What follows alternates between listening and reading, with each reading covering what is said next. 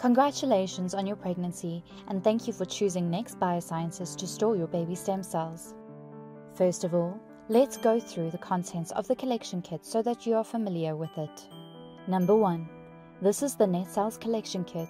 You may have already received the collection kit or you will be receiving it shortly. Number 2. When you open the collection kit, you will see that there are two documents at the top of the open box. The birth identification form needs to be completed by the doctor after the birth of the baby, as it requires crucial information on the baby's delivery and the health of the mother. It is important to make sure that all sections are completed. Please take note of the section on the baby's details, the hemodilution and the maternal blood draw sections to be completed by your doctor, as well as where your doctor needs to sign. The maternal health questionnaire may be completed before the birth of the baby. It is based on the mother's health. However, if there is anything to note about the health on the father's side, it can be recorded in the comments box. It is important that this document is signed and dated. Number 3. Once the doctor has done the collection, it is the parent's responsibility to ensure that the box has been packaged correctly we will send you a video that explains the collection kit packing process.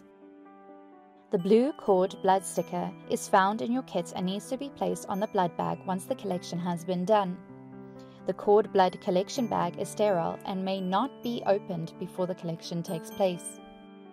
Once the sample has been collected, packaged, and all the documents have been completed and signed, everything will be placed in the collection kit box and the box will be placed inside the courier bag where it will remain at room temperature until the courier arrives to collect the sample. Please keep the label on the outside of the bag to hand to the courier. NetCells Collection Kit. What is inside the box? A.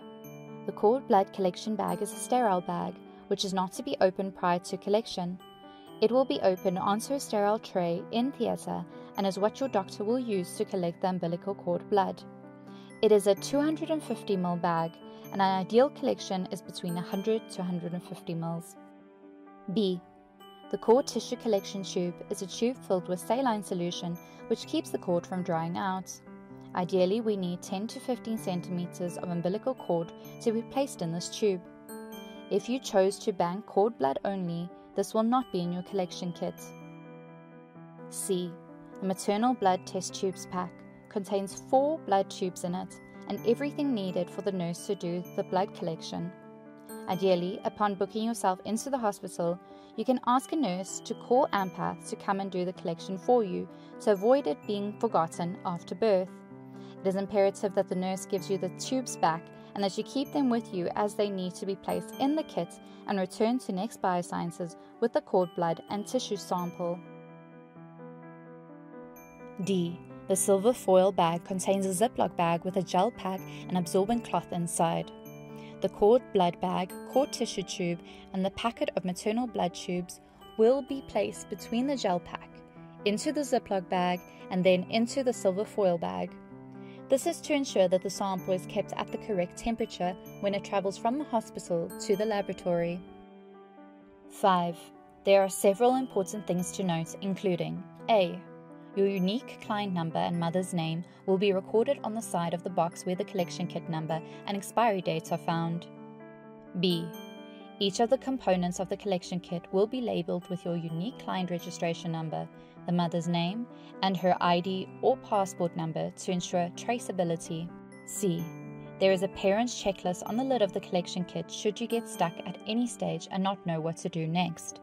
We also have a packing the collection kit box video for you to watch to ensure it has been packaged correctly before sending the box back to the laboratory. D.